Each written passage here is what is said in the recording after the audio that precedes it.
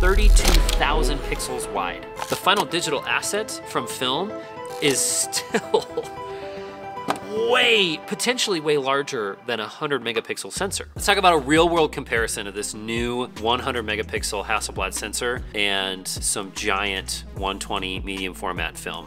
During this studio portrait session, we switched back and forth between Kodak Portra 400 120 film and the 100 megapixel digital back. One of the most consistent reoccurring themes in the comments either about you know 100 megapixels isn't really that much there's phones that shoot 200 megapixels. I don't really care about the amount of pixels. The crop of the digital sensor is pretty significant. Somebody got really mad at me for for saying that this was a huge sensor in the world of digital sensors especially if you're going to talk about somebody's 200 megapixel phone this is giant i work with an ARRI LF sensor, large format sensor, and it's similar size to this Hasselblad sensor. This is bigger than a, a piece of 35 millimeter film.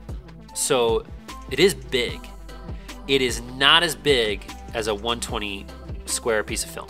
There's a great little viewfinder crop little window that you can put on the viewfinder glass and you can deal with the crop factor. You can scan these negatives much larger than this is going to than, than an image this is to take. I made uh, I just just as an as an experiment. I at the at, this is an Epson V600 scanner, and the largest I was able to scan one of these negatives was 32,000 pixels wide.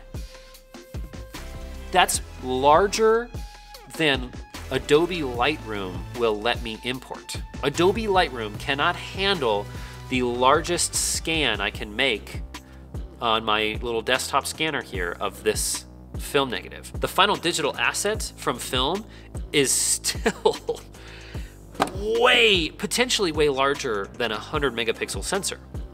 But I don't think that's the point. That's definitely not the point. I'm not trying to get the largest file possible. I don't care about the largest file possible. At a certain point, what's the value in having the largest file possible? Adobe Lightroom wouldn't let me import that. I can't do anything with it. When I look at these images, digital versus film, the quality of the digital photos, I mean, they're incredible. Sharpness, color tones. I love the digital images. There's a, an aesthetic to these film images that I am drawn to spiritually, emotionally. I mean, there's there's something about the organic physical nature of the film that I am drawn to. I cannot quantify it. The overwhelming feeling that I get from shooting film, scanning film, displaying film, and sharing the film, I think that is more valuable to me. That whole experience is more valuable to me than the favorite image that I got. That's a complicated, nuanced, complicated statement. This was a messy experience that resulted in messy feelings.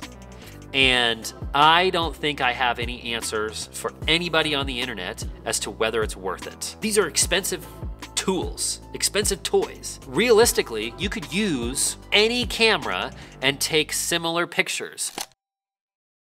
Okay, Hilton Talk. Please let me have 200 likes. Subscribe me. I'm a Minecraft player.